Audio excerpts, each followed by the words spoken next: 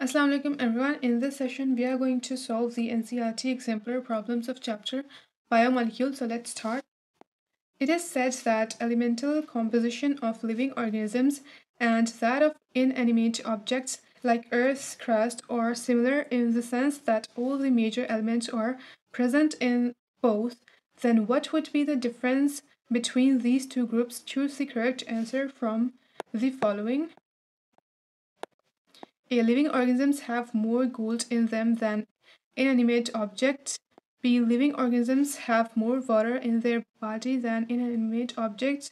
C. Living organisms have more carbon, oxygen, and hydrogen per unit mass than inanimate objects. Or D. Living organisms have more calcium in them than inanimate objects. The correct choice is option C. Living organisms have more carbon, oxygen, and hydrogen per unit mass than inanimate objects. Many elements are found in living organisms either free or in the form of compounds. One of the following is not found in living organisms. Silicon, magnesium, iron, or sodium. The correct choice is option A, silicon. Amino acids have both an amino group and a carboxyl group in their structure. Which amongst the following is an amino acid? Formic acid, glycerol, glycolic acid, or glycine? The correct choice is option D, glycine.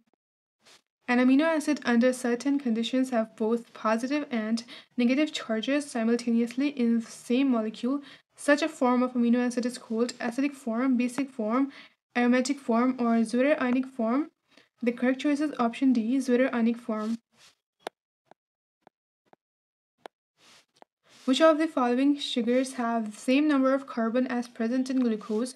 Fructose, erythrose, ribulose, or ribose. The correct choice is option A, fructose. An acid-soluble compound formed by phosphorylation of nucleoside is called nitrogen base, adenine, sugar phosphate, or nucleotide. The correct choice is option D, nucleotide.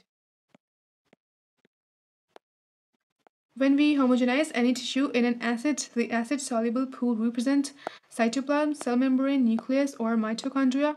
The correct choice is cytoplasm. The most abundant chemical in living organisms could be protein, water, sugar, or nucleic acid. The correct choice is option B, water.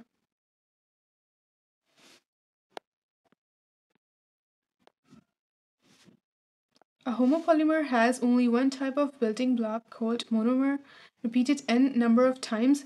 A heteropolymer has more than one type of monomer, Proteins are heteropolymers usually made up of 20 types of monomers, 40 types of monomers, 30 types of monomers, only one type of monomer.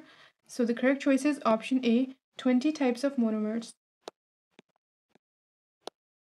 Proteins perform many physiological functions. For example, some proteins functions as enzyme. One of the following represents an additional function that some proteins perform. Antibiotics, pigment conferring color to skin, pigment making colors of flowers, or hormones. The correct choice is option D, hormones. Glycogen is a homopolymer made up of glucose units, galactose units, ribose units, or amino acids. The correct choice is option A, glucose units. The number of ends in a glycogen molecule would be equal to the number of branches plus 1 equal to the number of branch points 1 or what 2 one on left side and another on the right side. So the correct choice is option A equal to the number of branches plus 1 the primary structure of a protein molecule has two ends one end three ends or no ends the correct choice is it has two ends which of the following reactions is not enzyme mediated in biological system?